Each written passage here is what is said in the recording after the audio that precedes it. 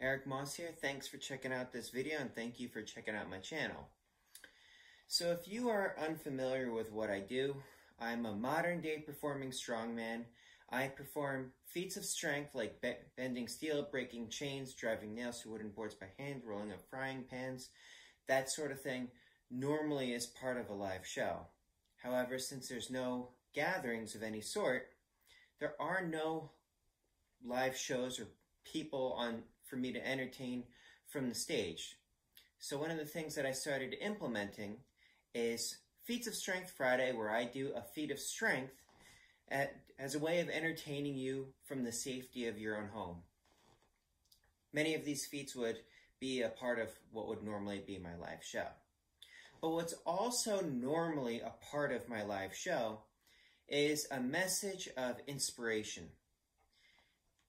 You see, for my show, it's not just about check out how strong I am. It's about normally about like what would you do if you allowed the same kind of mentality that I use that allows me to do the things that I can do.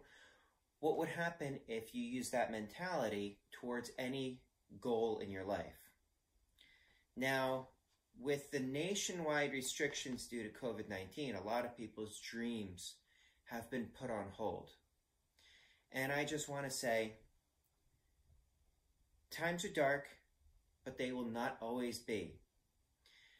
And I know that you're probably feeling anxious from being locked up, just like I might be a little anxious from having these shackles on this padlock right here.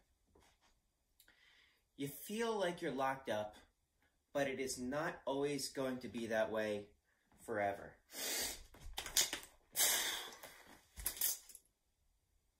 We will get through this.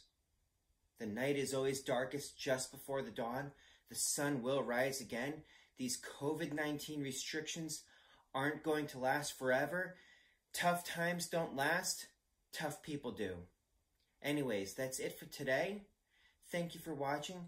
Happy Feats of Strength Friday and stay strong, stay healthy, stay safe, everyone.